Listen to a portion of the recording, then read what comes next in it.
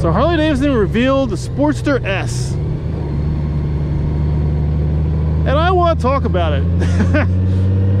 I would say it's the good, the bad, the ugly, but that's not really how it's going to go. It's more like the good, the bad, and then the even better, or more good. Even gooder.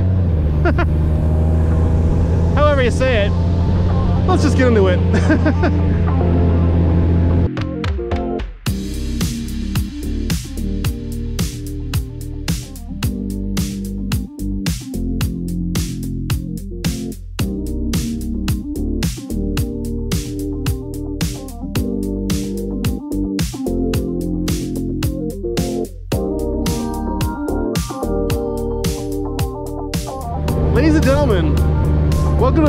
channel.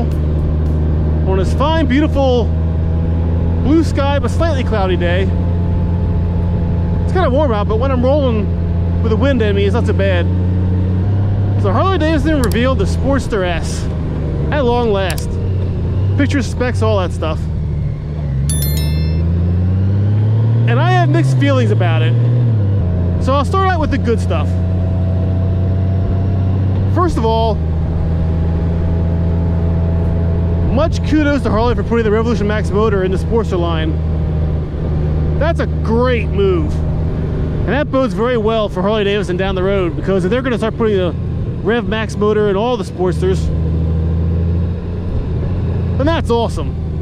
Because the Rev Max motor is, of course, the same motor that's in the Pan America, Harley's new adventure bike. It's fully water cooled, Makes lots of power, lots of torque. It's a modern motor.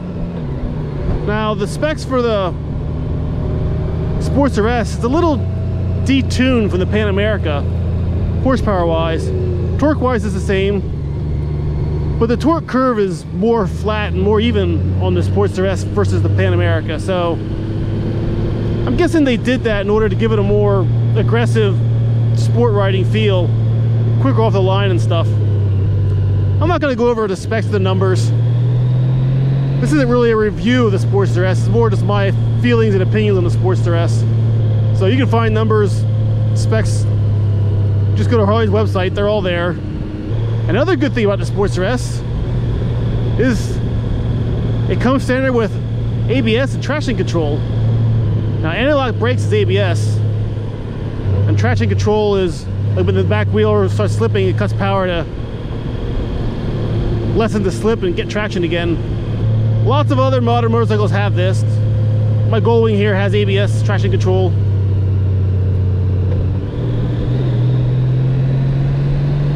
Keep running, girl. Good for you. I should be running. Anyway, back on topic. A lot of modern motorcycles come standard with ABS and traction control. Most Harleys don't. Uh, they come now with ABS, but traction control and more advanced rider stuff is extra for Harleys. It's like an extra grand for that kind of stuff normally. But the Sportster S comes with it standard. That's good. That's real good. I'm hoping that kind of mentality trickles down to the rest of Harley Davidson's lineup. So they stop nickel and diming the customers and start just giving them the goods. Make it standard, like every other brand well, like most of their brands are doing nowadays. Safety first kind of mentality, that kind of thing. Another good thing about the Sportster S is it comes standard with RDS too, or or RDRS. Uh, whatever that is, it's Harley's. It's Harley's ride modes and rider aids and that kind of stuff. They sell that optional on other bikes. I don't think it's standard on any, any other Harley though. I'm not sure might be standard on the Pan America. I'm not, you know, I think it is actually, but it's standard on the Sportster S. That's also really good. I hope Harley down the road standardizes all those safety features, just puts them on all the bikes. Another good thing about the Sportster S is the display, the gauge. It has a 4-inch TFT, which is a, a digital gauge more or less. It's round and it displays graphics and all your rider modes and information and that kind of stuff. Very similar to what the Indian does with the, the, the new Indian gauges. They're round TFTs. Very information laden and clear and easy to read at a glance. So I'm glad to see a TFT style display on the Sportster S too. The Pan America has the same thing, only it's rectangular, it's not round. But it's a good move from Harley, it's a good sign. I'm hoping they start seeing more of those kind of rich information gauges on Harleys. And I know a lot of people like the classic needle gauges and stuff on Harleys. They go more for that kind of thing. I'm of the opinion if you can make a modern gauge look old-fashioned, that's better. Like the Indian, you can change the display to show a digital needle gauge, more or less. I'm pretty sure the Sportster S does the same thing. I think that's great. I think all Harleys should have something like that. It just makes sense in, in, in today's modern world. That way you kind of appeal to both the new and the old customers. So all these changes are going to allow Harley to better compete with the likes of Indian. The Indian Scout, the Indian FTR, the Honda Rebel 1100, all those kind of bikes. The Sportster S is a modern Sportster made to compete against modern bikes. But it's not all good news. Let me get to some of the bad points about the Sportster S. The things that, yeah, the things I don't like. Number one for me is going to be the styling. I absolutely do not like the way the Sportster S looks, the way it's designed. I don't like the high exhaust high up on the side. That's just going to cook legs of the riders and especially the passengers. I don't care for the short fender in the back. That doesn't even cover the wheel at all.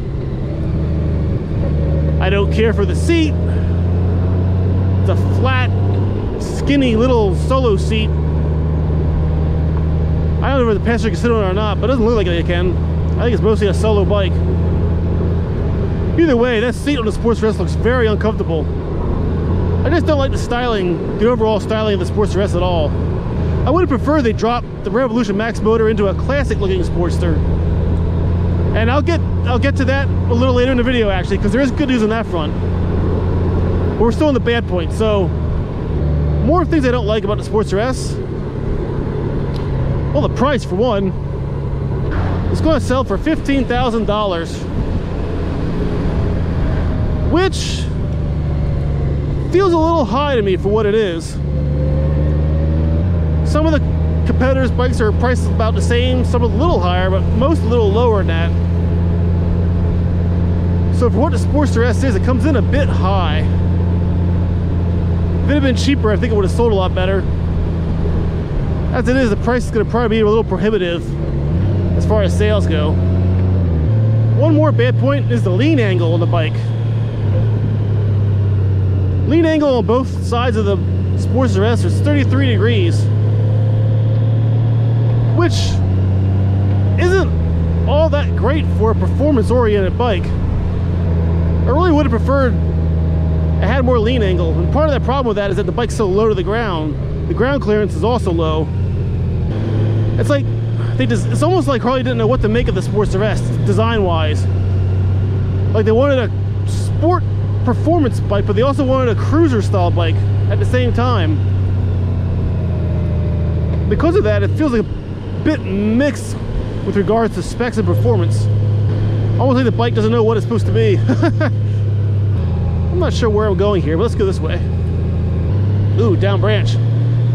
One more thing I don't like about the Sportster S are the tires. They're big fat tires.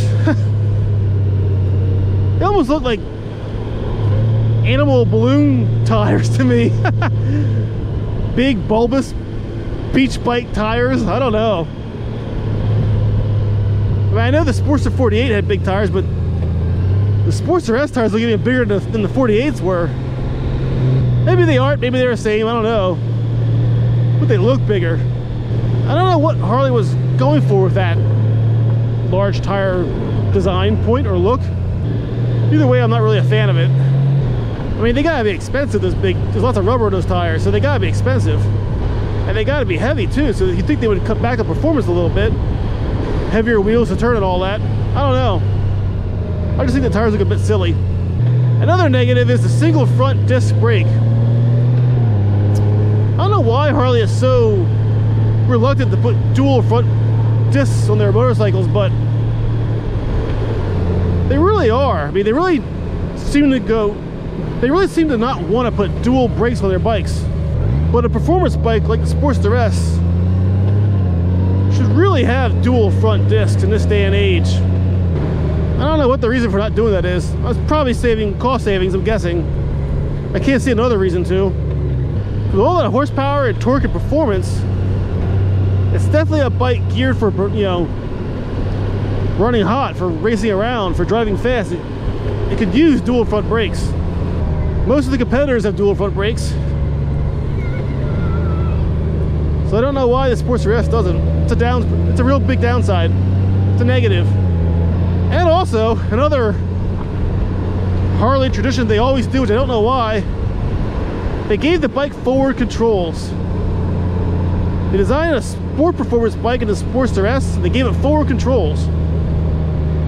They gave it drag bars, you lean forward on the bike. And then they went and gave it forward controls. I don't know why they keep doing that on their bikes. I mean, for a cruiser, yeah, forward controls make sense sometimes. Style-wise, it looks all right. And again, this is one point where it seemed like Harley didn't know what they wanted the Sportster S to be. Did they want a performance bike? Did they want a cruiser bike? It's kind of both. it's a bit of both. Now they offer mid controls as an option. You can pay to change out the forward controls for mid controls. But that cost something like 700 some dollars I think it was or 650 or something like that. It wasn't a low price point. In my opinion the Sportster S should have came standard with mid controls and had the option to be forward controls. That would make a whole lot more sense from what the Sportster S seems to be designed around. So I don't know. I have mixed feelings of the Sportster S on one hand I love what Harley's done, and I'm glad to see him do it. I mean, very promising for the future of Harley. To put all that tech on the bike, to put the Revolution Max in the Sportster frame. And then on the other side, on the other coin, they seem to have designed the bike with a bit of a dartboard design ethos, like they weren't sure what to make of it. Like they wanted a performance bike, but a cruiser at the same time. And because of that, it kind of does both and yet neither well. I feel like maybe they should have gone all performance on the Sportster S and save the cruiser attributes for a, a future Sportster variant. Which leads me to the rest of the good. I went through the good points, went through the bad. Now I'm gonna go back to some more good because Harley's official release video for the Sportster S at the very end had a just a glimmer of tidbits of information that was very promising to me personally. If you watch Harley's official reveal video for the Sportster S, right around the 12 and a half minute mark, I think 1240 or something like that is where it starts, for only like 10 seconds, they start talking about future Sportster variants, future Sportster models based off this frame and chassis. And then they show a few pictures. They show, and I'll put them here in the video, they show a a Sportster S variant model with a typical Sportster fender on the back with a fender that covers the entire back tire. Not that performance thing they have with the Sportster S. And they show a picture of the side of the engine of, the Rev Max engine in the, in the Sportster S frame, but the exhaust comes down beneath the motor and goes like back to the back of the bike lower, like a typical Sportster bike does. The exhaust on on a typical Sportster. So obviously Harley has a more traditional Sportster model in the works because there are photos of it. They have pictures. And then I also found another picture online of a traditional looking Sportster based off the Sportster S. Like a full bike picture. I'll put that in the here in the video too so you can see it. It was a low def picture so I can't zoom in on it or doesn't have a lot of detail but but clearly Harley is going to offer future Sportster models that look more like a Sportster does. Less like the less like the Sportster S and more like a normal sporty, a tra traditional sporty. And that's awesome. That's what I want to see. I want to see Harley mix awesome tech with the traditional looking Harleys. Because in my opinion, that's what's going to sell the best for Harley Davidson. They got to start offering bikes that appeal to both new riders and the old riders too.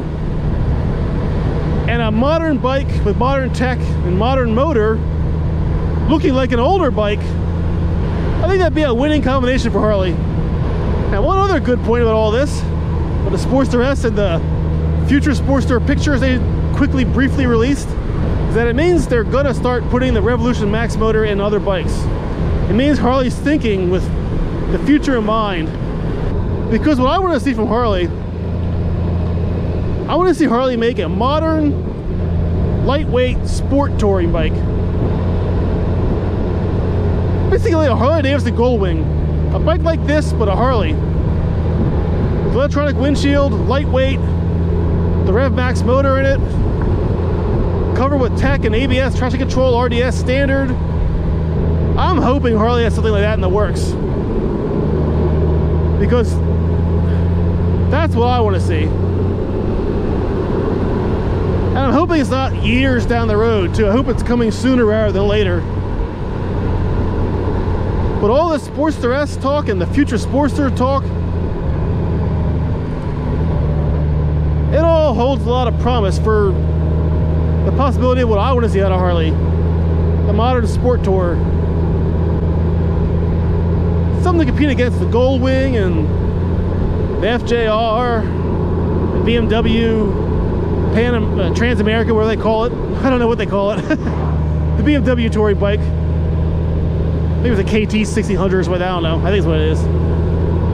So in any case, while the Sportster S is not my cup of tea, it is very promising for the future of Harley. And I hope it sells very well for Harley too. I hope it makes them a lot of money. I hope it's a popular bike.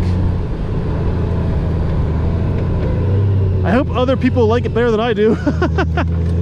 that means it'll sell. Because competition is good. And no one really wants to see Harley die or continue to diminish or get worse over time We want to see Harley turn things around. And both the Pan America combined with the Sports S, they're two pretty good indications that Harley's doing some good work right now. But that's my opinion. Let me know what you think down in the comments. Do you like the Sportster S? Do you want one? Do you feel more like me where the styling is not for you? Do you hate the Sportster S? Do you want to see them stick to the Evolution motor, the standard sporty they've had for the past couple decades? Let me know down below what you're thinking. I want to end the video here and go get some lunch. Because I'm hungry. Thanks for watching, everyone. Take care. Get out and ride. See you in the next video.